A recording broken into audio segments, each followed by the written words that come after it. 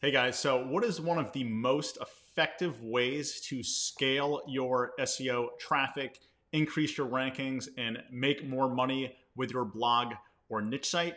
That's going after low competition keywords. So, you guys already know what low competition keywords are. They are keywords in our niche that don't have a lot of SEO competition. And when we can find these keywords, write a great article about them, it makes it easier to rank and get traffic from those keywords. So that's why they're important. In fact, finding low competition keywords was one of the main ways I was able to take one of my niche sites to over 500,000 page views per month.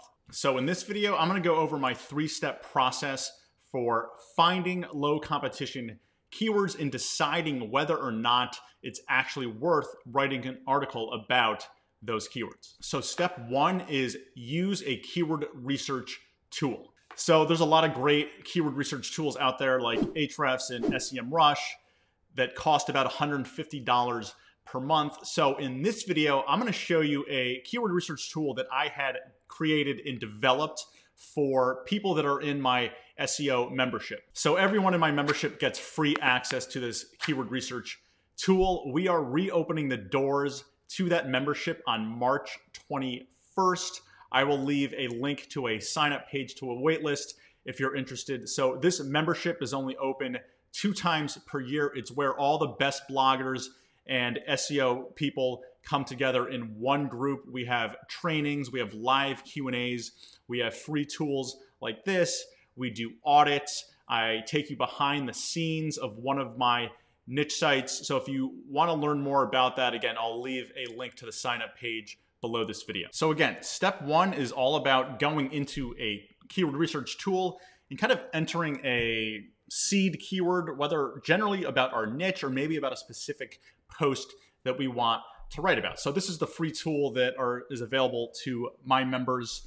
Now let's pretend I was in the succulent niche, right? So broadly speaking, I could just type in succulent into a keyword tool and hit enter. And what it's going to do is spit back a bunch of keywords. Now, you'll see here, this tool that I've created for my students is only for low competition keywords, right? That's the name of the game here with keyword research. We really only care about low competition keywords. We don't need millions and millions of irrelevant keywords that we're never going to rank for, right? So when I type in succulent, this tool is spitting back a bunch of potential keywords that we could write about. Aphids on succulents, baby toe succulents. This must be a type of um, succulent here. So these are all potential ideas here. Bear claw succulent, right? There's a couple of variations here with pretty good volume in low competition as well. And there's, again, what we can do is kind of scan this list and see if we should write an article about it, right? Can I use all purpose plant food for succulents and so on and so forth? And in this example, you know, there's plenty of ideas that we could go with here. Succulent pots with drainage is a good one.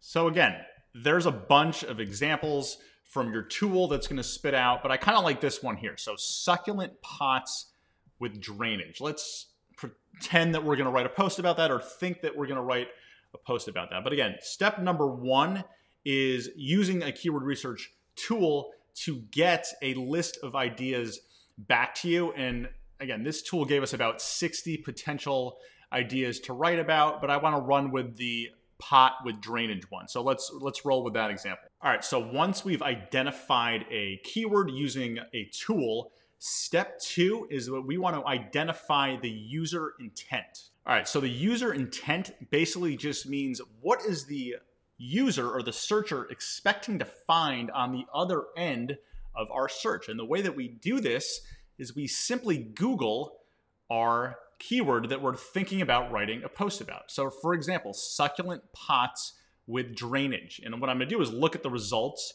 and get an idea based on what Google is showing me, what is the user expecting to find, right? So number one is an Amazon page, right? A, a link to an Amazon shop page. Number two is a link to an Etsy page. Okay, so the first two links, and we can see these Google shopping pages, but there's blog post idea and shopping page, right? So based on this, we could keep the keyword itself. But if we look at number three ranking here, best drainage pot for succulents, and number four, best succulent pots planters, what if we uh, kind of amended the keyword here and just went with best succulent pots with drainage, right? And so we kind of tweak the keyword based on the intent because the first keyword was giving us shopping results, and this one will as well. But now we see number one result is a blog post, right? Best drainage pots for succulents, which is good news because we're going to write an article, right? An actual blog post. So Amazon is two, but number three is a blog post. Number four is a blog post right? So checking the intent and then maybe tweaking the keyword based off the intent is step number two. Okay, so after we've identified the user intent, step number three is analyzing the SEO competition. So what that means is we have to determine who else is ranking on Google, what types of sites are ranking, what is their authority compared to our authority. And what I like to do is basically look for the domain rating for each site that is ranking.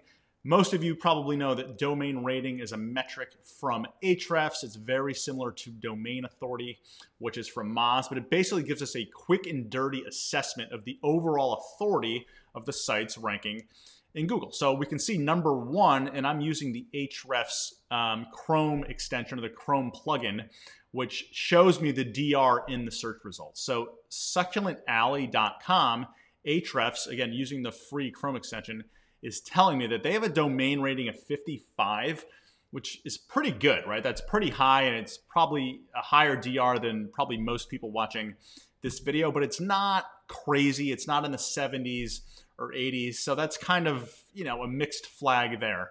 Number two was Amazon. We're going to skip because we're not competing with Amazon. But look at number three. Okay, so this website is ranking number three for this keyword in Google, the yardandgarden.com. And Ahrefs is showing me they have a DR of only 19, which is really low, especially for a site that's ranking in the top three for a keyword like this. So this is a really good sign. Again, it depends on what your domain rating is as well. But if you have a lowish domain rating, it's a pretty good sign that the number three ranking site is a DR 19.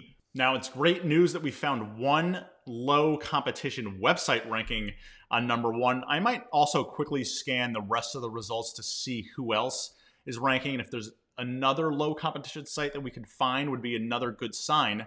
And we can see here, number nine, right, sublimesucculents.com, they have a DR of 31, which is obviously higher than 19, but still, a DR 31 is not very high. It's frankly a site or an authority that most of us could compete with pretty easily. So the fact that we found two low authority sites ranking on page one for this keyword is a really good sign.